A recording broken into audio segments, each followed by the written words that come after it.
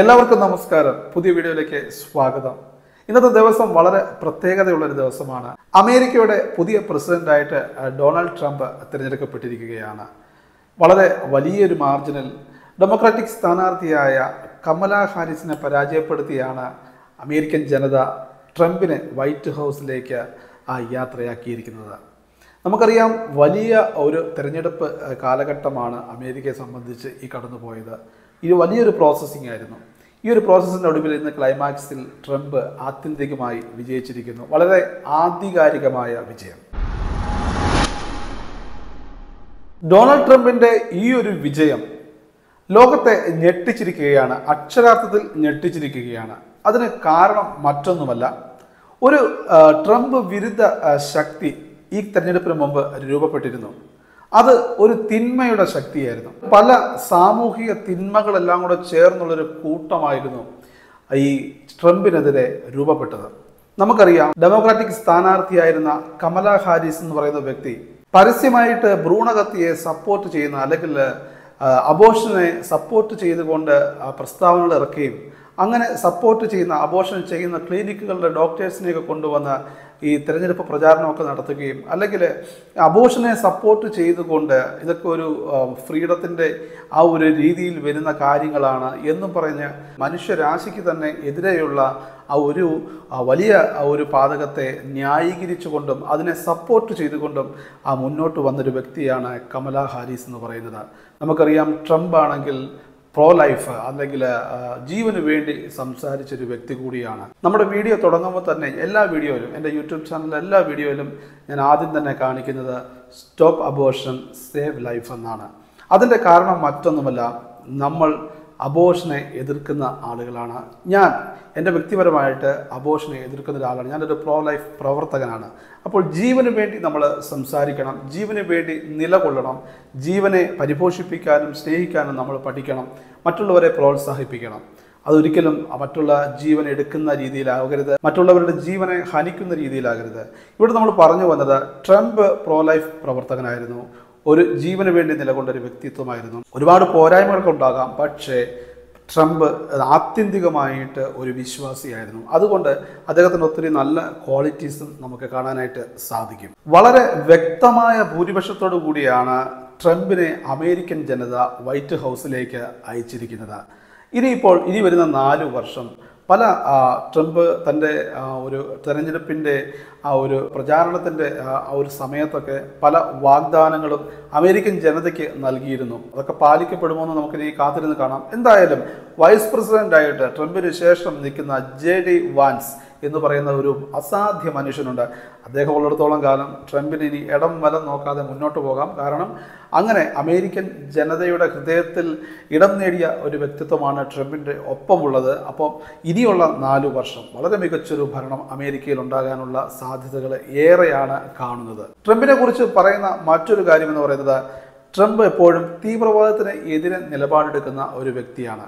അഫ്ഗാനിസ്ഥാനിലെ താലിബാനെതിരെയും ഇറാഖിലെ ഐസിസിനെതിരെയും അല്ലെങ്കിൽ ഇപ്പോൾ ഗാസയിൽ ഹമാസിനെതിരെയും ഹിസ്ബുള്ളയ്ക്കെതിരെയും ഒക്കെ കർശനമായ കർക്കശമായ നിലപാടുകൾ സ്വീകരിക്കുന്ന അല്ലെങ്കിൽ ആ ഒരു നിലപാടുകൾ സ്വീകരിക്കുന്ന അല്ലെങ്കിൽ അങ്ങനെ ഒരു വ്യക്തിത്വമാണ് ട്രംപ്.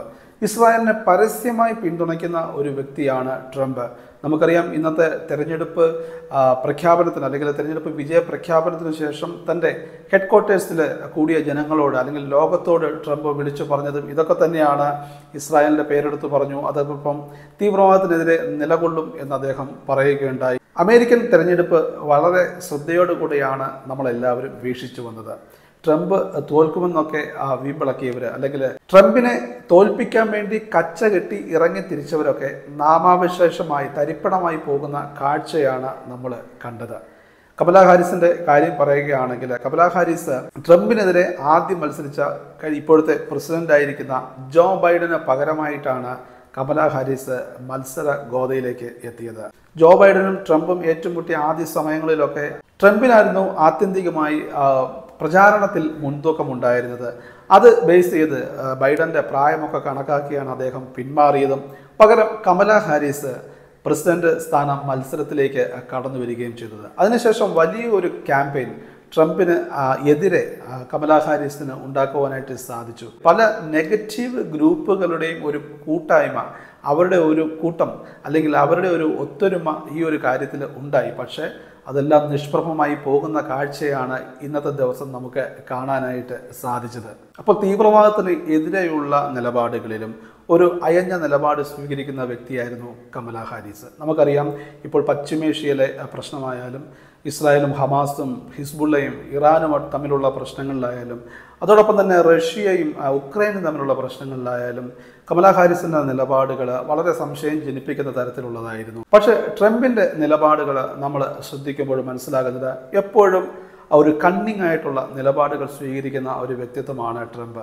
ധാർമ്മികതയ്ക്ക് എതിരായിട്ടുള്ള നിലപാടുകൾ സ്വീകരിക്കാത്ത ഒരു വ്യക്തിയായിരുന്നു ഡൊണാൾഡ് ട്രംപ്. ട്രംപിനെ കമലാ ഹാരിസിൽ നിന്നും മാറ്റി നിർത്തുന്നത് നിലപാടുകളാണെന്ന് നമ്മൾ പറഞ്ഞല്ലോ. പ്രത്യേകിച്ച് തീവ്രവാദത്തിനെതിരെയുള്ള നിലപാട് ട്രംപിന്റെ നിലപാട് വളരെയേറെ നമുക്ക് പ്രശംസിക്കേണ്ട ഒരു നിലപാട് തന്നെയാണ്. കാരണം പ്രത്യേകിച്ച് അമേരിക്കൻ പ്രസിഡന്റുമാർ സ്വീകരിച്ചു വരുന്ന ഒരു നിലപാടുണ്ട്. അതിൽ നിന്ന് വ്യത്യസ്തമൊന്നുമല്ല ട്രംപിന്റെ നിലപാട്. എപ്പോഴും തീവ്രവാദത്തിനെതിരെ തന്നെയുള്ള നിലപാടുകളാണ് ഒട്ടുമിക്ക അമേരിക്കൻ പ്രസിഡന്റുമാരും സ്വീകരിച്ചു വന്നിട്ടുള്ളത്. നമുക്കറിയാം ഗാസയിൽ ഹമാസും ഇസ്രായേലും തമ്മിലുള്ള പ്രശ്നത്തിലും ഹിസ്ബുളയും ഇസ്രായേലും തമ്മിലുള്ള ഒരു യുദ്ധത്തിലും അല്ലെങ്കിൽ ഇറാനുമായിട്ടുള്ള പ്രശ്നത്തിലുമൊക്കെ ട്രംപിന്റെ നിലപാടുകൾ എപ്പോഴും ഇസ്രായേലിനൊപ്പം ഉള്ള ഒരു നിലപാടായിരുന്നു. ഇസ്രായേലിനൊപ്പം തന്നെയാണ് അമേരിക്കയും എന്ന് അദ്ദേഹം ഉറക്കെ പ്രഖ്യാപിച്ചു. തെരഞ്ഞെടുപ്പിന്റെ പ്രചാരണ ഘട്ടങ്ങളിലെല്ലാം പ്രഖ്യാപിച്ചു. അതോടൊപ്പം തന്നെ ഈ തെരഞ്ഞെടുപ്പ് ജയിച്ചതിന് ശേഷം ഇന്നും അദ്ദേഹം വളരെ വ്യക്തമായി പറയുകയുണ്ടായി ഇസ്രായേലിനെ കുറിച്ചുള്ള കാര്യങ്ങളൊക്കെ. ഇസ്രായേലിന് പുറത്ത് ഏറ്റവും കൂടുതൽ യഹൂദർ താമസിക്കുന്നത് ഒരുപക്ഷെ അത് അമേരിക്കയിലായിരിക്കാം. യൂറോപ്പിലും അമേരിക്കയിലാണ് ഏറ്റവും കൂടുതൽ യഹൂദർ താമസിക്കുന്നത്. അപ്പോൾ ഒരു നിർണായക ശക്തിയാണ് അവിടെ യഹൂദർ അവരുടെ വോട്ടുകളും. അപ്പോൾ ഈ ഒരു തിരഞ്ഞെടുപ്പിൽ ട്രംപിന് അനുകൂലമായി തന്നെ യഹൂദരുടെ വോട്ടുകൾ അത് വിധിയെഴുത്ത് അവിടെ ഉണ്ടായി എന്ന് നമുക്ക് അനുമാനിക്കാനായിട്ട് സാധിക്കും. ഒരു തിന്മയും ഒരു നന്മയും തമ്മിലുള്ള ഒരു മത്സരമാണ് ഇവിടെ കഴിഞ്ഞതെന്ന് നമുക്ക് ഒറ്റ വാക്കിൽ പറയാനായിട്ട് സാധിക്കും. അമേരിക്കയിലെ എൺപത്തഞ്ച് ശതമാനം മാധ്യമങ്ങളും ഈ ഡെമോക്രാറ്റിക് സ്ഥാനാർത്ഥിയെ സപ്പോർട്ട് ചെയ്തുകൊണ്ട് രംഗത്ത് വന്നവരായിരുന്നു. അത് ട്രംപിന് എടുത്തു പറയുകയും ചെയ്തു. സി എൻ എൻ ഉൾപ്പെടെയുള്ള ചാനലുകളുടെ പേര് എടുത്തു പറഞ്ഞാണ് അദ്ദേഹം വിമർശിച്ചത്. അതോടൊപ്പം തന്നെ അദ്ദേഹം എടുത്തു പറഞ്ഞൊരു കാര്യം ഈ മേത്ത ഫേസ്ബുക്ക് അദ്ദേഹത്തെ സപ്പോർട്ട് ചെയ്യാതെ ഒരു നിലപാടിലേക്ക് പോയപ്പോൾ വളരെ വ്യക്തമായ നിലപാട് ഇലോൺ മസ്ക് സ്വീകരിച്ച നിലപാടായിരുന്നു. അദ്ദേഹത്തിന്റെ എക്സ് എന്ന സോഷ്യൽ മീഡിയ പ്ലാറ്റ്ഫോം വഴി ട്രംപിന് അനുകൂലമായ ഒരുപാട് കാര്യങ്ങൾ ചെയ്യാൻ അദ്ദേഹം സാധിച്ചു. ട്രംപിന് വലിയ പിന്തുണ അദ്ദേഹം വളരെ പരസ്യമായിട്ട് രേഖപ്പെടുത്തുന്നത് നമുക്ക് കാണാനായിട്ട് സാധിച്ചു. അതിന്റെ നന്ദി സൂചകമായിട്ട് ഇന്നത്തെ അദ്ദേഹത്തിന്റെ നന്ദി പ്രസംഗത്തിൽ ട്രംപ് എലോൺ മസ്കിനെ പരാമർശിക്കുകയും അദ്ദേഹത്തിന് നന്ദി പറയുകയൊക്കെ ചെയ്യുന്നത് നമുക്ക് കാണാനായിട്ട് സാധിച്ചു. എന്തായാലും ലോകം നന്മയിലേക്ക് നീങ്ങട്ടെ എന്ന് പ്രാർത്ഥിക്കാം. ഇനി ഉള്ള ദിവസങ്ങൾ ശാന്തി നിലനിൽക്കുമെന്ന് നമുക്ക് പ്രത്യാശിക്കാം. കാരണം ട്രംപ് ഈ അധികാരത്തിൽ വന്നു കഴിഞ്ഞാൽ തീവ്രവാദത്തിനെതിരെ കർശന നിലപാട് സ്വീകരിക്കുന്ന ട്രംപ് വന്നതിന്റെ ഏറ്റവും വലിയ ഗുണം അനുഭവിക്കാൻ പോകുന്നത് ഇപ്പോൾ യുദ്ധ സാഹചര്യത്തിൽ ജീവിക്കുന്ന ജനങ്ങളാണ്. അവരാരായിക്കൊള്ളട്ടെ അവരായിരിക്കും ഇതിന്റെ ഒരു നല്ല ഫലം അനുഭവിക്കാൻ പോകുന്നത്. കാരണം ട്രംപ് എന്ന് പറയുന്ന ഒരു നേതാവ് തീവ്രവാദത്തിനെതിരെ പടപുരുന്ന അല്ലെങ്കിൽ തീവ്രവാദത്തിനെതിരെ ശബ്ദിക്കുന്ന തീവ്രവാദത്തിനെതിരെ ആക്ഷൻ എടുക്കുന്ന ഒരു നേതാവാണ്. ഇന്ത്യയെ സംബന്ധിച്ചും എപ്പോഴും അമേരിക്ക ഇന്ത്യയുമായിട്ടുള്ള ഒരു ബന്ധം എന്ന് പറയുന്നത് വളരെ സുദൃഢമാണ്. നമ്മുടെ ഭരണാധികാരികളായിട്ടൊക്കെയുള്ള ഒരു അടുപ്പം ആ അമേരിക്കൻ ഭരണാധികാരികൾ എപ്പോഴും കാത്തു സൂക്ഷിക്കുന്ന ഒരു കാര്യം തന്നെയാണ്. അതുമാത്രമല്ല ഈ അമേരിക്കയിലുള്ള കുടിയേറ്റക്കാരുടെ എണ്ണം വളരെയേറെ കൂടുതലാണ്.